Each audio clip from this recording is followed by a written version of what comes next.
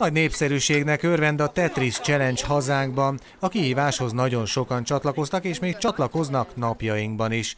A Győrmoson Sopron megyei rendőrfőkapitányság étkezdének dolgozói is úgy gondolták, megmutatják, mennyi minden szükséges ahhoz, hogy az állomány ellátása zavartalan legyen. A gazdasági szerv a rendőrfőkapitányságnak egy nagyon fontos része, ugyanakkor láthatatlan, és akkor működik jól, hogyha láthatatlan, hiszen akkor minden működési feladat zsírozottan működik. A gazdasági rendőrkapitány helyettes elmondta, csapatépítő tréningnek sem volt rossz a kihívás teljesítése.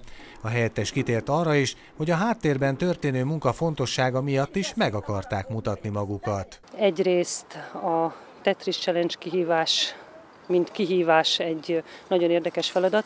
Másrészt hozzátenném, hogy az igazi kihívás a kollégáim számára az, hogy a élelmezési szabályzóknak megfelelően ellátják a, az állomány étkeztetési feladatait. Az látszott, hogy a kihívás még jobban összehozta az amúgy is összeszokott rendőrségi csapatot, a dolgozók ugyanis jókedvűen pakolták ki, aztán később be a munkájukhoz szükséges felszereléseket.